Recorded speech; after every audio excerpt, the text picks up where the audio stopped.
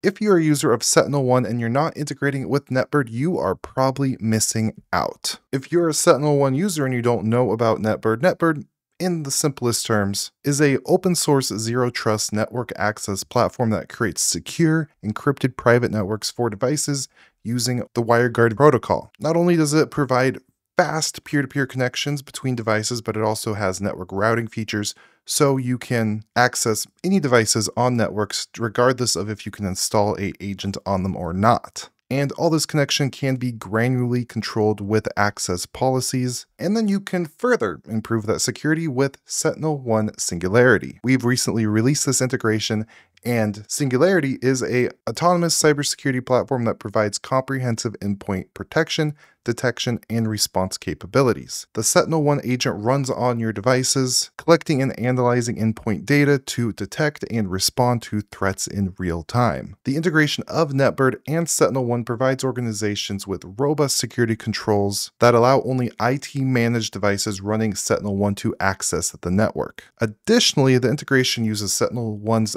threat detection capabilities, enabling administrators to further limit network access based on the security posture of each device. Not only that, with NetBird's generic HTTP streaming capability, you are able to stream this network activity directly into SentinelOne's Singularity Data Lake, which is a centralized repository for storing and analyzing security data across your organization. So without too much rambling, let's just get on into getting all this set up. It's incredibly easy, and there are two different pages of documentation that we'll go ahead and link to so you can see how to do this in a kind of written step-by-step -step guide with some further explanations on what these products are and how they can make your networks more secure.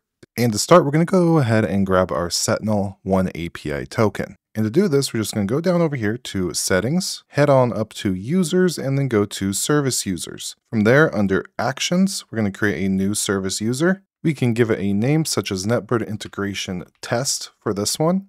And then we can throw in the description such as API token for NetBird EDR integration. Then we set our expiration date. We could bump it up to three months. It looks like that's not recommended. So let's go one month just to stay in their recommendation range.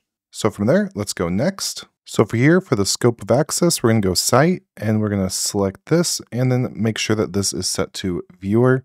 And then from there, we could go ahead and create our user. So type that in and hit confirm action. And then from there, we'll have our token right here. But I'm going to keep this open. We're going to head over to our NetBird dashboard, and then I'm going to head down to integrations. And then under EDR, I'm going to go to SentinelOne and turn this on. From here, it's going to walk us through some of the same things we're going in this video or going through in this video.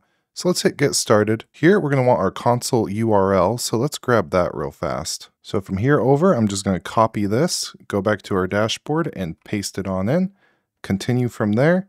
And now here is where we input that API key we just created. So let's grab it again, or the API token, give it a copy, and drop it on in. From there, we can hit continue. And now we have our peer approval. This is the groups you want to apply the SentinelOne integration to. So for example, if I wanted all of the auditors and then maybe the development people to use this integration, so they have to be running SentinelOne on their machine to get access to the network, that is how I would set that up and then I'd hit continue. Now here we have a variety of compliance uh, requirements that you could select. So any devices connecting to your network in that peer approval group will need to meet any of these that you select, ensuring that only healthy, properly configured devices can connect. For example, while it's not recommended, if I didn't require disk encryption for my specific company, network, whatever, I could disable that and then go continue. And if I hover over here, you have an example. So this property is set to 24 hours by default. For example, if Jane's laptop hasn't synced with SentinelOne in 27 hours, even though it's marked as compliant, it will be blocked from network access.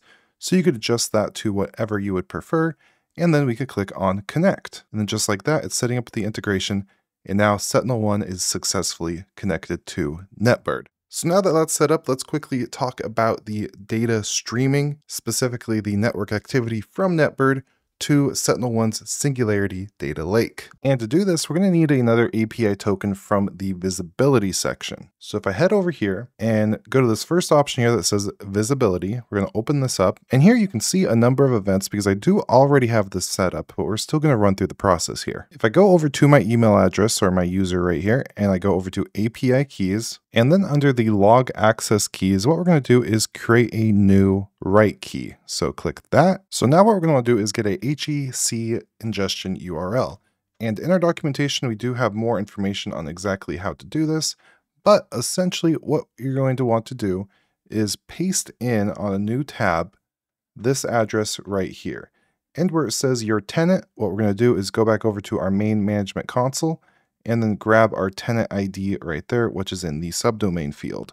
So then we can replace your tenant here just like that and then hit enter. And then here we'll find our HTTP event collector base URL from the documentation page. Now from there, what we're going to want to do is go under integrations in NetBird, and this time we're going to head over to event streaming. From there, we're going to set up some generic HTTP. So let's go ahead and enable that, head back over to our documentation here, give this a copy, and then drop the URL right here under the endpoint URL. But we're also going to want to add in from the NetBird documentation services collector and event. For the authentication, we're going to select bearer token and then head back over to our API keys under Singularity Data Lake, copy that API key once again, and then drop it right here under authentication.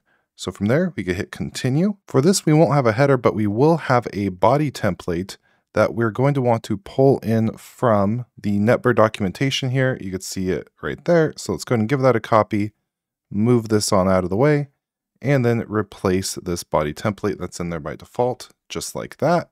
There we go. And now we could click on connect.